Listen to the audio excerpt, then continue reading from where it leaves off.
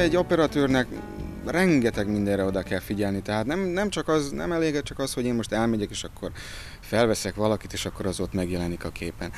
Azt most mondhatnám ugye iskolai szinten, hogy azt komponálni kell, azt, azt érezni kell, hogy mennyire mehetsz be, hogyha egy idősebb szeméről van szó, hogyha fiatalabb szeméről van szó, nem szabad, hogy látszanak ugye a ráncok. Azt szépen meg kell komponálni, fényre rakni, háttérre is nagyon oda kell figyelni, mert sokan azt hiszik, hogy na jó van, akkor most itt üljünk le, és akkor gyorsan csináljuk meg. Ugye hát számos esetben ez veletek is előfordul, hogy, hogy minél gyorsabban, mert nincs idő, csináljuk.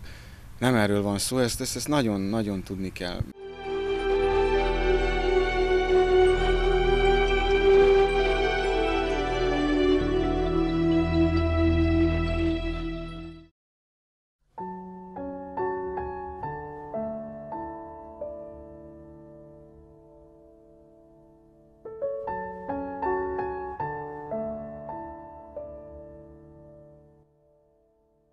Király Attila operatőrvágó 1981. július 27-én született Szabadkán. Már kamasz éveiben vonzotta a média, rádiósként kezdte pályafutását. A kamera iránti érzékenysége is hamar megmutatkozott.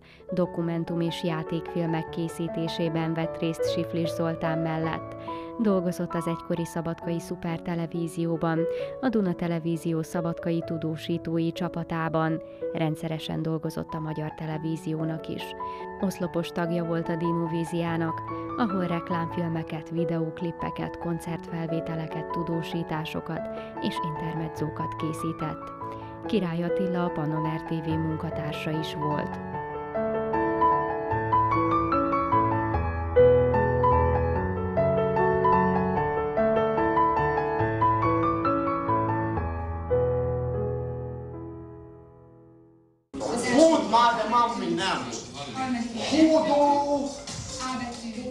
Attila 12 évesen a Szabadkai Rádió ifjúsági műsorában közreműködött.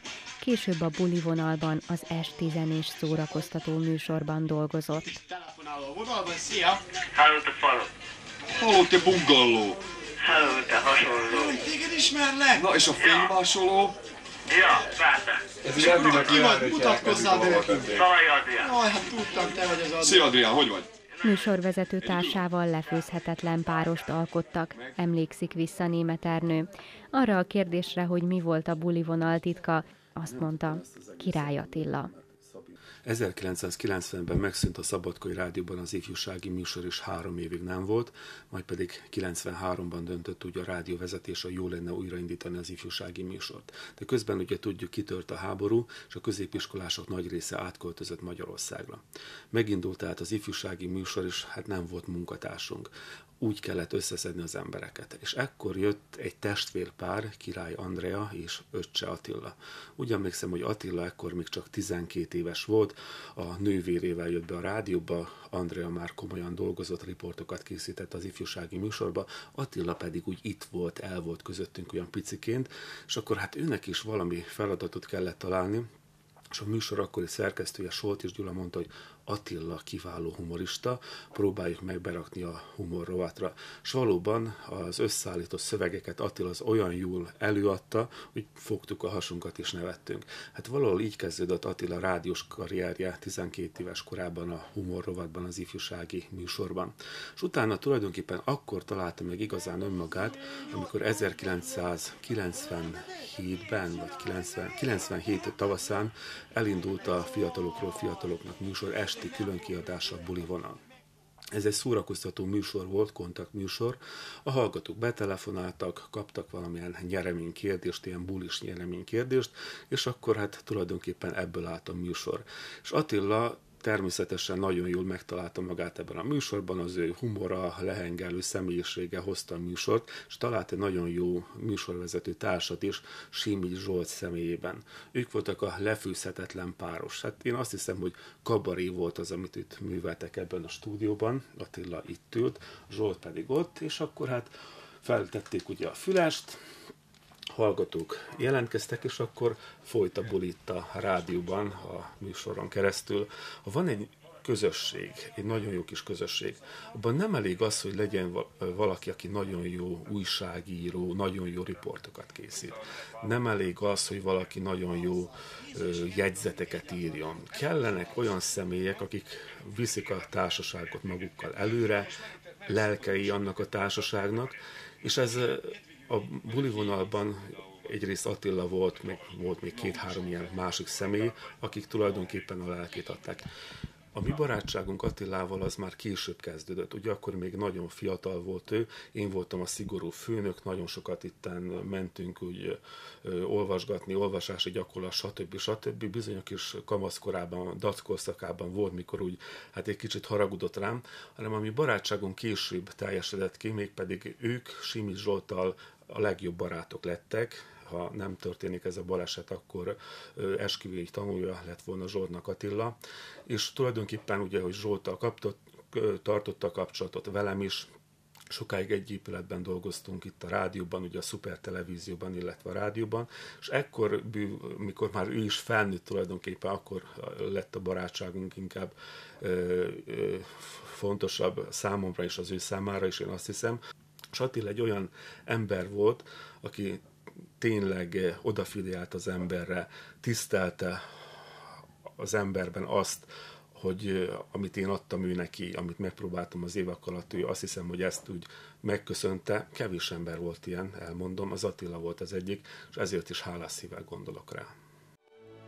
A század elején fejlett kereskedelemmel és számos bankkal rendelkező város volt, de jelentős bevételre tett szert a várost övező gazdag szántóföldek terményeiből is. A főváros Budapest konzervatív zárkózottsága nem nyújtott túl sok lehetőséget a szecessziós stílusában alkotó építészeknek. A műépítészek így arra kényszerültek, hogy a monarchia egész területén keressenek munkalehetőséget. Szabadka pedig az a város volt, amely szélesre tárta kapuit az újszerű törekvések előtt. A Budapesttel való versengésnek a város kiépítésében óriási a szerepe, hiszen Szabadkán így születtek a szecessziós stílusában épült, kiemelkedő jelentőségű épületek.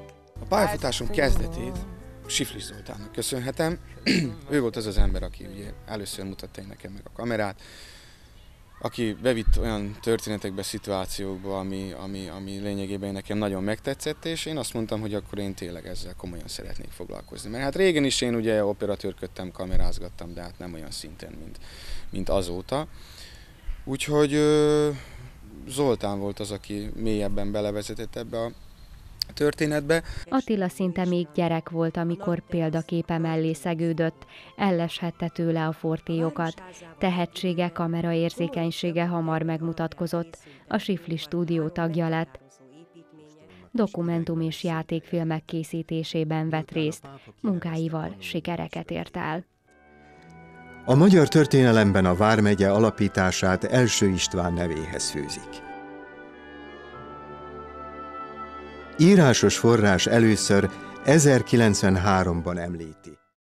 Jó operatőr partner volt és kiváló vágó, és mondhatom, hogy erre születni kell, hogy valaki ne csak szeressen filmet készíteni, vagy, szeressen, vagy, vagy az operatőri munkát, az, azt, azt valahogy érezni is kell, nem elég ugye csak kamerát kezébe venni az embernek, és ő mondjuk ezt jól megcsinálta. Ha az Attilára gondolok, akkor csak az a mosolygós arc, hogy állandóan nevetett és, és mosolygott, tehát ez annyira jellemző volt rá, hogy talán ez, nem, és ez megmarad mai napig, persze nem gondoltuk, hogy ez így már egy a múltnak a, a, a, az emlékünkben rögzült képe lesz róla.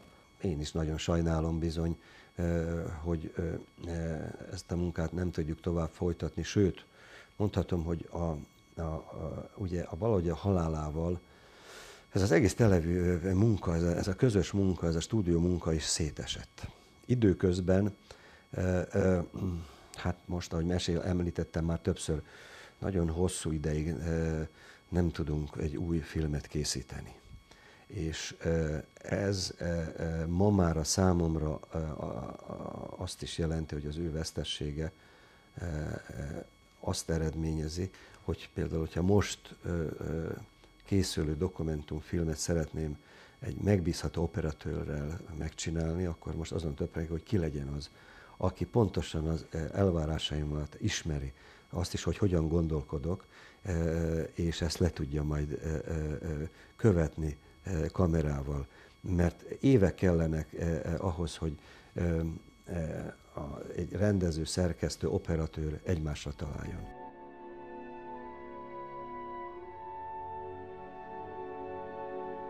A Bácsi vár a török kivonulás után a Rákóczi felkelés idején pusztult el. A kurucok 1704-ben a bácskai hadjáratuk során bevették és feldulták, az osztrákok pedig 1705-ben felrobbantották. A Bácsi vár azóta végképp az enyészeté lett. Tehát az ő vesztességet nem csak azt jelenti, hogy elvesztettem egy, egy barátot, egy munkatársat, hanem a vajdasági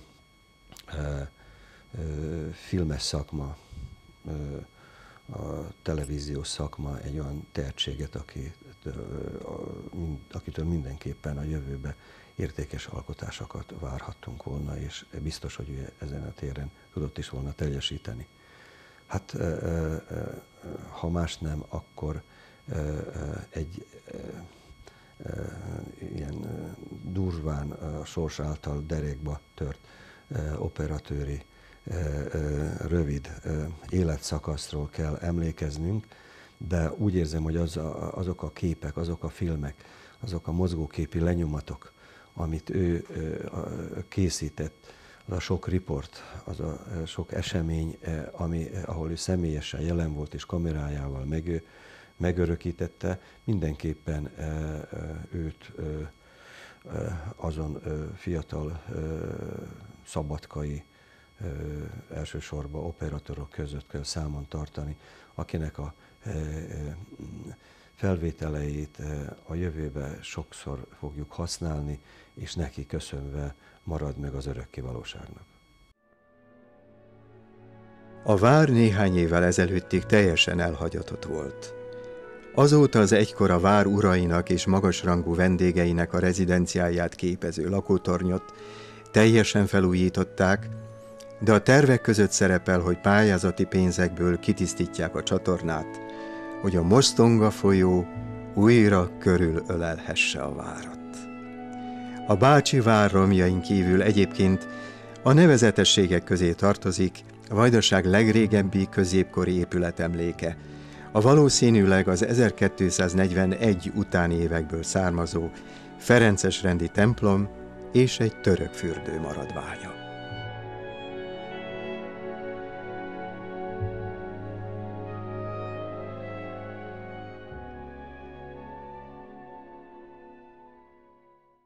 Rengeteg embert megismertem, és, és felajánlották, ugye, hogy, hogy akkor, hogyha ezt csinálom, hát akkor fejezzek be egy, egy jó mesterképzést, ami ugye a Dunaverzitás, ez Budapesten fejeztem be, és ott jól megpatkolják az embert, ez egy egyéves mesterképzés, ugye ott egy vizsgafilmet kellett lerakni az asztalra, és hát megcsináltam, megcsináltam, szintén egy személybe, szintén de olyan egy hogy még a, a csónakba, a vízre is fölmentem a, a, a személyekkel, ugye a szereplőkkel, és ugye ez a Fahalászok című ö, dokumentumfilmen.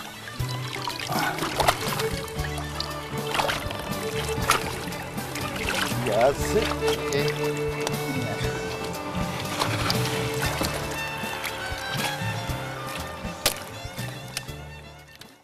Kabó Kerikával és Hegedűs Dániellel a Duna Televízió szabadkai stúdiójában dolgozott együtt, operatőrként és vágóként erősítette a csapatot. Nekem csak szép emlékeim vannak. Nagyon-nagyon sok óra hosszát töltöttünk el együtt abban az ideglenes stúdióban, amikor készítettünk egy félórás műsort a Duna Televízió számára, volt külön szabadkai stúdió, és ennek volt az Attila egyfelől az operatőre, másfelől a vágója. Nyilván a felvételek készítésénél is együtt voltunk, és hát persze hosszú órákat, éjszakákat töltöttünk a, a vágószobába, és vágtuk az anyagokat. Ami nekem nagyon megmaradt az, hogy állandóan vidám volt, állandóan helyén volt a színája, amikor pedig, mert ugye senki se olyan, hogy folyamatos a jókedve és a boldogsága, amikor mondjuk maga alatt volt, akkor meghallgatott. A másik nagyon fontos dolog azt gondolom ebben a szakmában, hogy az ember türelmes legyen, tehát ne kapkodjon, ne, siessen. Na ez volt jellemző, ez jellemző Hegedűs Dánielre is, a, az én csapatomban az első számú operatőrre, hogy hiába sietek én, hiába kapkodok, az, ami kiár az operatőrnek, azt az időt ő kiköveteli magának is. Ilyen volt az Attila is. Képes volt egyetlen darab képet fél óráig keresni, nyitogatni a fájlokat, hogy melyik a legmegfelelőbb, és amikor megnéztük, amikor elkészült, akkor még soha nem fogom elfelejteni azt a boldog, ő boldog volt, amikor egy jó anyagot sikerült összeraknunk. Én úgy gondolom, hogy ez a munka, a televíziós munka, az nem egy magánprodukció. Tehát én hiába írok jó szöveget, hogyha a partnerem, az operatőr az nem csinál jó képeket, hogyha a vágó nem igyekszik abból, ami van, a hozott anyagból a legjobbat kihozni.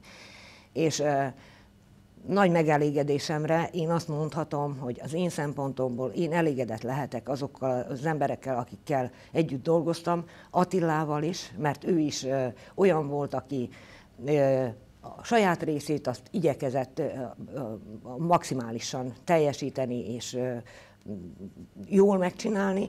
Emberként pedig hát persze beszélgettünk mindenféle magánéleti dolgokról is, és én hogy mondjam, lehet, hogy egy picit korai életnek is tartottam, mert egészen komoly meglátásai voltak, nagyon bölcsen tudott hozzászólni az élet dolgaihoz. Minden egyes jó munka neki öröm volt, boldogság volt. Én azt gondolom, hogy nagyon szerette a munkáját.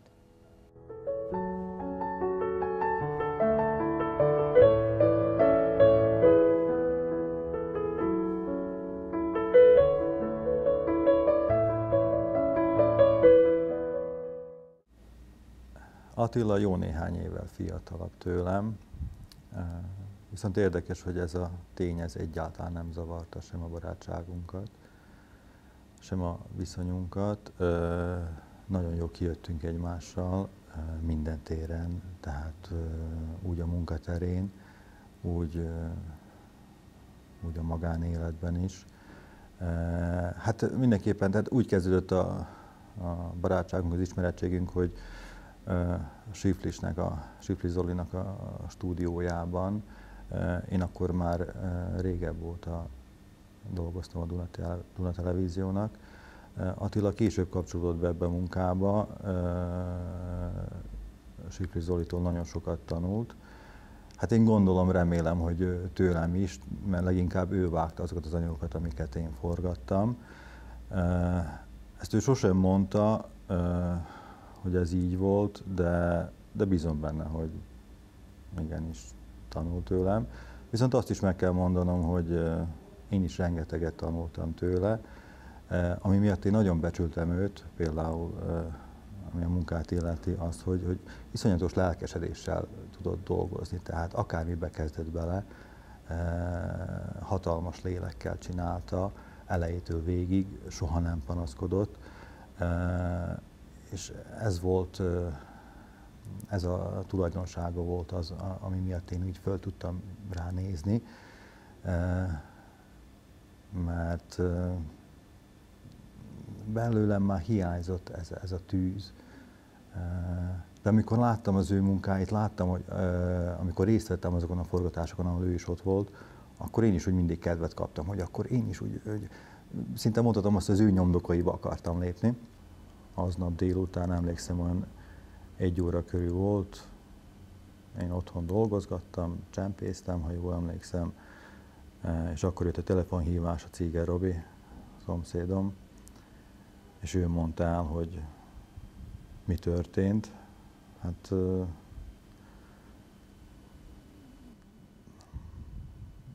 nagyon nehéz erről beszélni, hogy, hogy mit éltem át akkor, mert, mert az egész egy, egy, most így visszatekintve egy lázálom volt, hogy akkor szinte három telefonon lógtam, két vonalon beszélgettem egyszerre emberekkel, mindenki mindenkit hívott, mi történt, hogy történt. Ugyanilyen szép idő volt, mint ma, de, de azt hiszem, hogy életem egyik leg, leg, legfájdalmasabb napja volt. A másik ö, jeles ö, film az pedig a Szecessziós Szabadka, amit, amit Siflis Zoltánnal forgattunk együtt. Rangos fesztiválokon, lakitáki fesztiválokon, rangos filmszemléken jelent meg ez a film, ahol, ahol díjatat, rangos díjakat kaptunk, elismeréseket.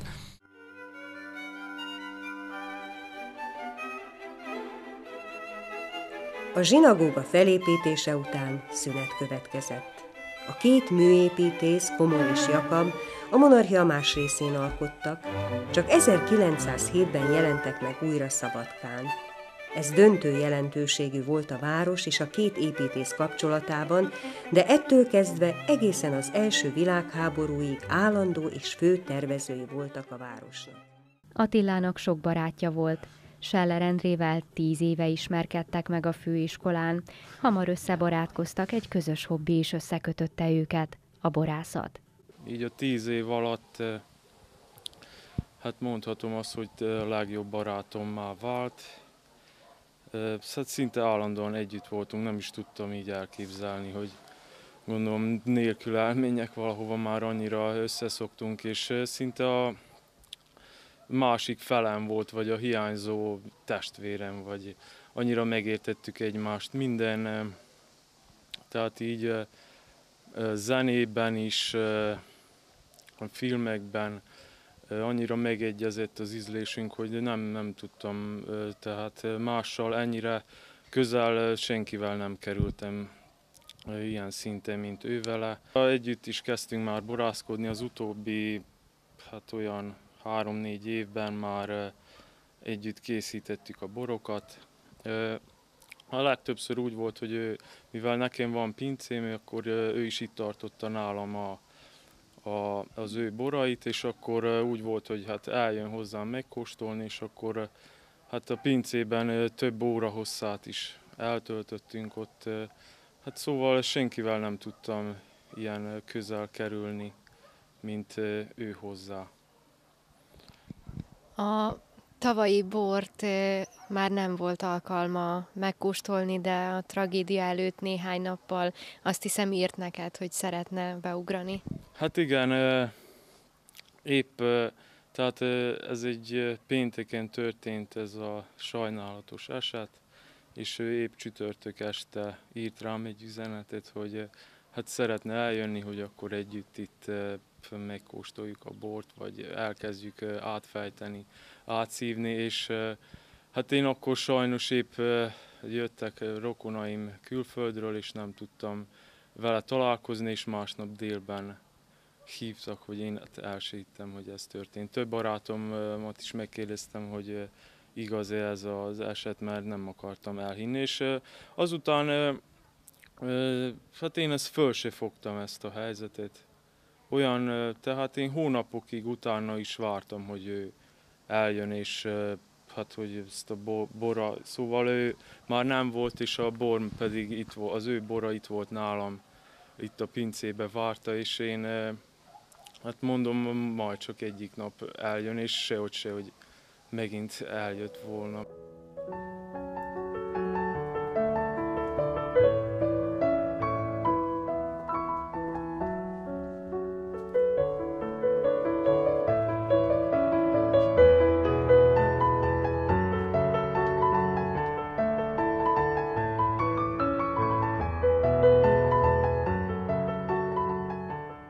Pont ezen a helyen itt állt tavaly az ő demizsonjai, ugyanígy álltak itt az ő boraival. Tehát ez a bor a tavaly termésből van, az, amit együtt vettünk Atival, tehát ez nekem, ezt félretettem, és akkor ezt megőrzöm. Szerintem sose fogom meginni.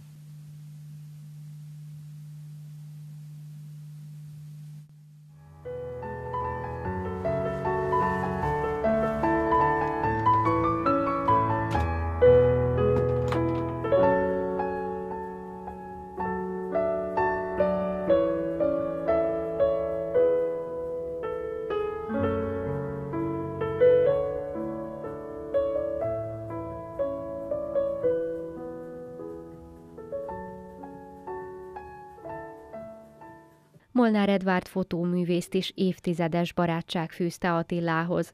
Sok időt töltöttek együtt, kiártak Palicsra, Edvárd fotózott, Ati pedig kamerával örökítette meg mindazt, ami megragadta. Király Attila az utolsó estét Edvárd barátjánál töltötte. Egy nagyon vidám é, é, ember, akinek sok terről tele volt életörömmel, meg életerővel, szóval ambíciókkal mindig. Szóval én nagyon ritkán láttam őt szomorúnak, vagy letörtnek, vagy talán soha. Még ha voltak is problémák, akkor is ugyan egy nagyon pozitív ember volt, és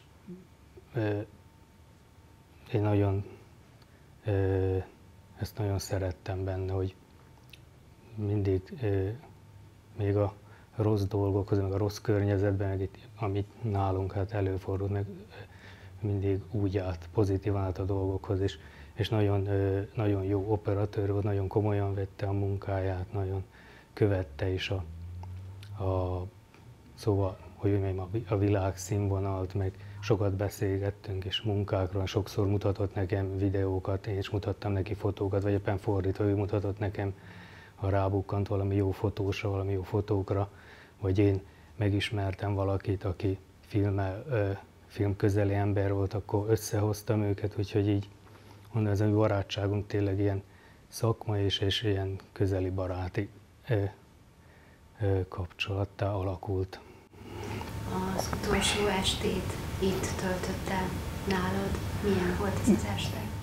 Hát az is úgy ilyen, majdnem, hogy azt mondjam, hogy olyan szokványos, mert hát nagyon sokszor eljött, meg hát mások is akkor még egyedül laktam, szóval az akkori mennyasszony mostani feleségem még nem, nem, nem költöztünk össze, és hát nekem mindig nyitva állt az ajtó a barátok előtt, és hát sokszor jöttek ő is, az Endre is, meg sokan mások, és, és hát iszogattunk, beszélgettünk.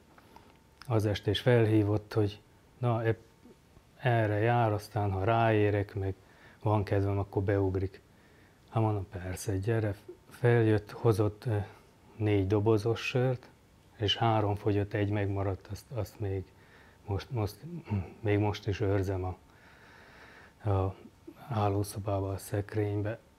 Ö, és sokáig úgy is maradt az asztala, hogy akkor, akkor hagytuk, mivel másnap történt ez a tragédia. Király Attila a Szabadkai Dinovízia oszlopos tagja volt. Reklámfilmeket, intermedzókat, tudósításokat készítettek, művelődési és sportrendezvényeket rögzítettek, koncerteken forgattak. Kiváló munkatárs, extra operatőr vágó volt és fantasztikus ember. Meséli Tomislav Dédovic Tomic, vagy ahogyan mindenki ismeri, Dino. még most is a telefonjában őrzi Attila utolsó SMS-ét. Mikor a Szabadki TV felbomlott, három-négy jó operatőr bement az életbe, az Attila volt köztük is. És úgy jött ez a dolog, az összes operatőr végig is jött hozzám, de viszont a tudása, még a hozzáállása az extra volt, extra. Úgyhogy mindig követte dolgokat, mindig volt ideje, ez nagy dolog, mindig követte a technikai vívmányokat, amik jöttek, mindig tudta előre. A munkához pedig tényleg, ahogy mondtam, extra jó, extra a hozzáállása volt. Mindig előtte végig gondolta dolgokat, hogy hogy csináljuk, miért csináljuk, a konkurencia hogy csinálja, és mindig jobban meg kell csinálni a másik televíziós stábtól.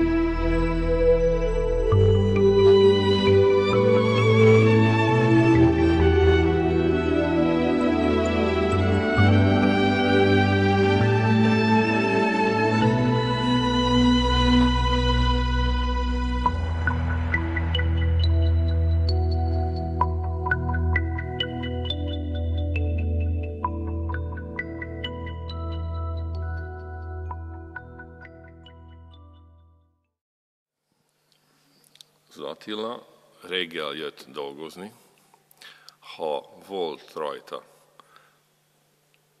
napszemüveg, akkor azt jelentette, hogy este valahol bulizott, és le volt lassúva. De mindjárt betette a kamerát a, a táskába, a statívot az autóba, és sose nem mondta, hogy nem, vagy nem érek rá, vagy nem aludtam két óra hosszá, ő már ment forgatni. És le is forgatta, és sose nem volt probléma. Ha csináltunk több kamerás, több kamerás dolgokat, akkor ő volt a Dániel mellett, aki megmondta, hogy profil, totál, ő volt, és mindenki hallgatott rá. Néha volt zúgolódás, hogy valaki, hát az nem így kell, de mindig végig is megbeszéltük a dolgokat.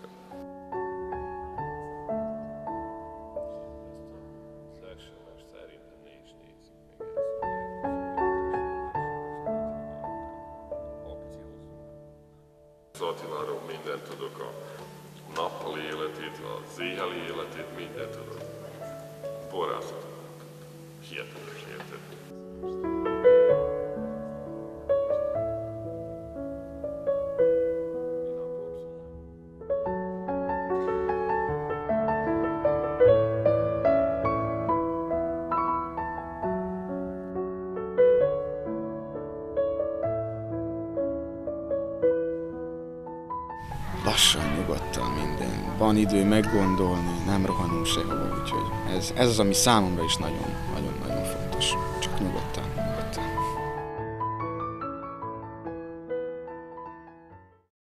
Tíz évvel ezelőtt ismertem meg őt a, az akkori munkahelyemen a Szabadkai Televízióban. Besétált egy napon, és úgy mutatkozott be, ezt így megjegyeztem nagyon, hogy én vagyok a király László fia, biztos tudod, ez a tévés mester. És, és ezt a mondatot így, így nagyon-nagyon megjegyeztem azóta is. Nagyon sokat dolgoztunk együtt, és nagyon szerettem vele dolgozni, tehát hogyha forgatásra készültem, mindig kértem, hogy vele mehessek, mert nagyon jól össze, össze tudtunk dolgozni, és, és tényleg a felvételeit sokszor vágatlanul is be lehetett adni, annyira jók voltak.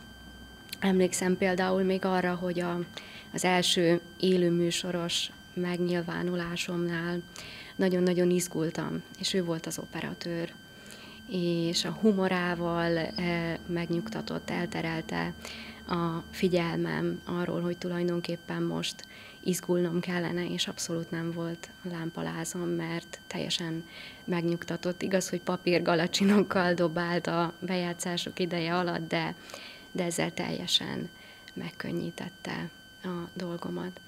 És később sem szakadtunk el egymástól, tehát a barátságunk az megmaradt továbbra is.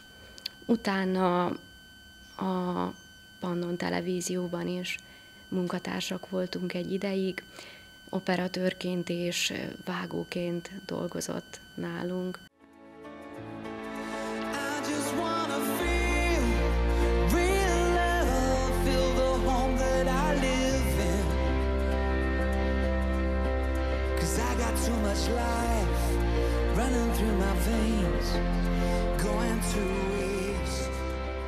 2011. november 4-e. Tragikus baleset történt Szabadka központjában. Két operatőr vesztette életét. Goran Nimcsevics és Király Attila egy reklámfilmet készítettek egy daruskocsiból. Ebbe rohant bele egy magyar teherautó. Az ütközés következtében mindkét operatőr kiesett a daru kosarából, és azonnal életét vesztette.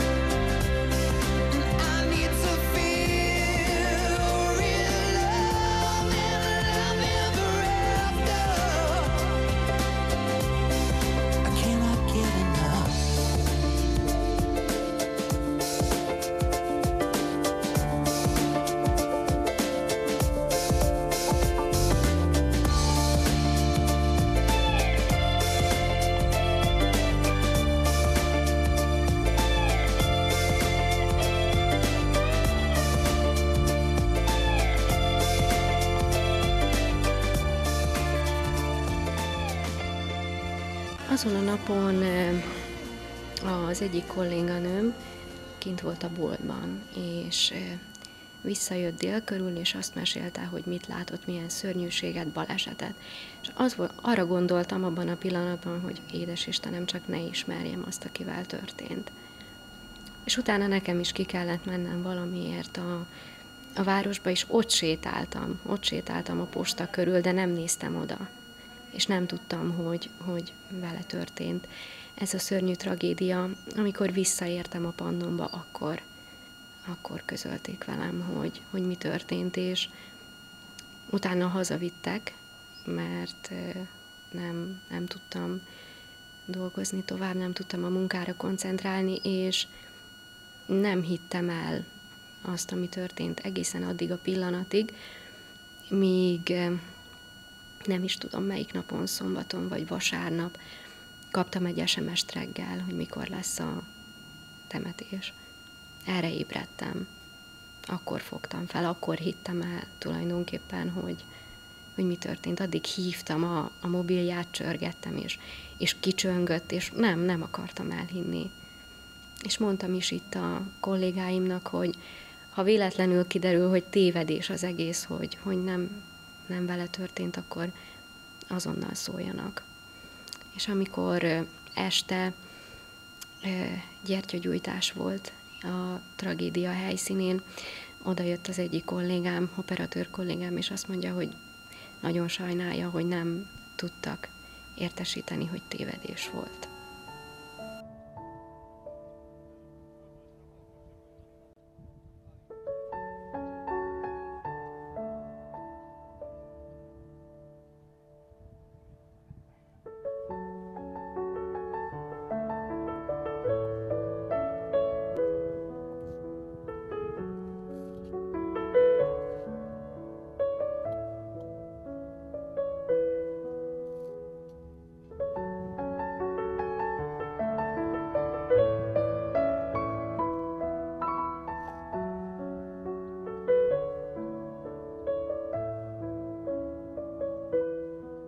Király Attila halálával hatalmas veszteség érte a vajdasági filmes és televíziós szakmát.